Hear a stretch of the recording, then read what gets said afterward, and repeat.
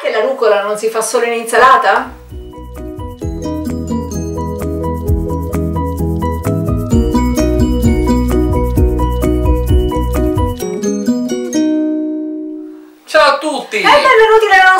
Cucina virtuale. Eh sì, a casa due cuori e una cappa la rucola non si fa solo in insalata, ma ci si prepara anche un buonissimo pesto con anacardi. Bravissimo. Voi direte, sì, sono veramente bravi. No, non è vero, è che non abbiamo niente da fare, quindi pestiamo tutto quello che ci capita. No, no. Qualsiasi tipo di pesto. No, siamo veramente bravi e, lo- e- e ve dimostreremo. Spostatevi con noi di là che andiamo a preparare questo buonissimo pesto.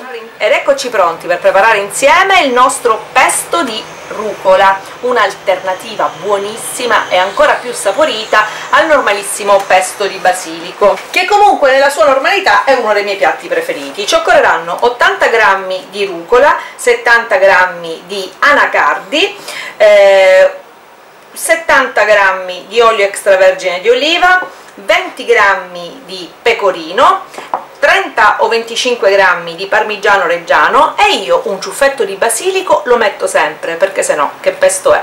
Cominciamo subito. All'interno del mio mixer vado ad inserire gli anacardi, il basilico e la rucola. La rucola io l'ho lavata e non l'ho strizzata troppo, la faccio frullare, diciamo così, con la, eh, l'acqua che si è depositata sulle foglie. Aggiungo l'olio, tutto, e intanto do una prima rimestata.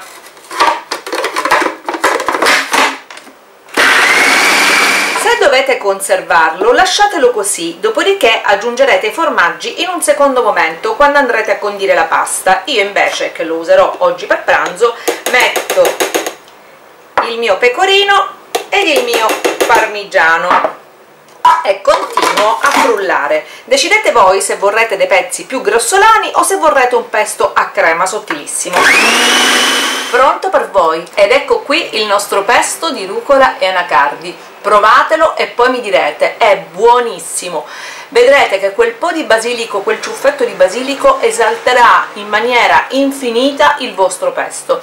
Gustoso, buono estivo ma anche autunnale per via degli anacardi che hanno un sapore leggermente più burroso. Provatelo e conditeci la pasta che volete. Io appena faccio un piatto di pasta con questo poi ve la fotografo e ve la faccio vedere. Intanto vi lascio le foto e noi ci vediamo dopo. Ciao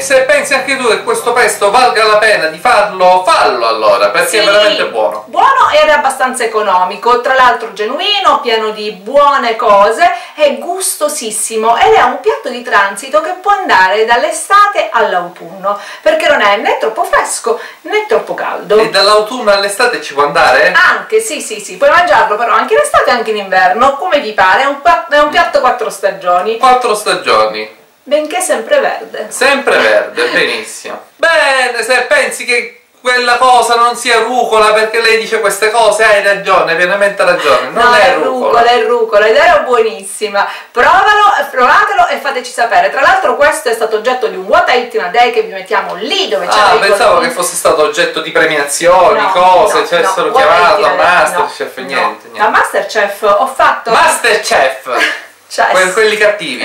Eh, Master Chess.